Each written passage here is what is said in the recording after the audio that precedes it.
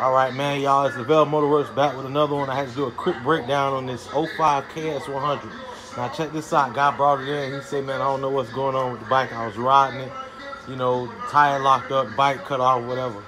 Um, anyway, so we're going to do a full rebuild on this bike. Um, I'm sorry, y'all. I'm tired. Anyways, man. Um, the crank on this bike, like I told him over the phone, a lot of times I get these bikes, I can tell you exactly what's going on before you even get it to me. And the reason why is because all motors blow up different. Check it out. If this was a CR85, which is a higher RPM bike, their cylinders are designed a lot different. All these bikes have different designs. Sometimes they lock up in different ways.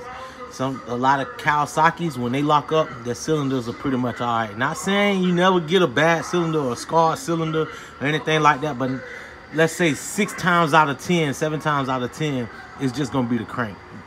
You know, I told him that over the phone. Um, the piston, you know, need a piston, a little bit really, but shoot, even the piston still trying to move. But we're gonna replace all this.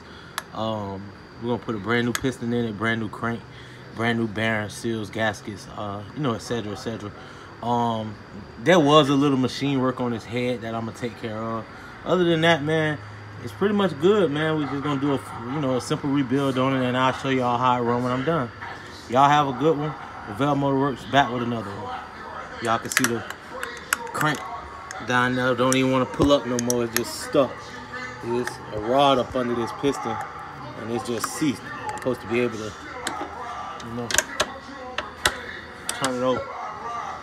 Um, so yeah, like I said, we're just gonna put a brand new crank, brand new piston in it, uh, new bearing seals, gaskets, you know, hot rod, Wiseco, and get them up and going, man. And I'll show y'all the, you know, afterwards I run.